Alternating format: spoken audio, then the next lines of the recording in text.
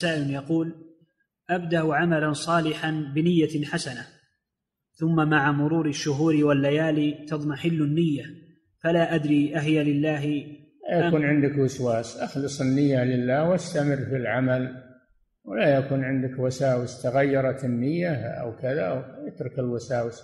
نعم.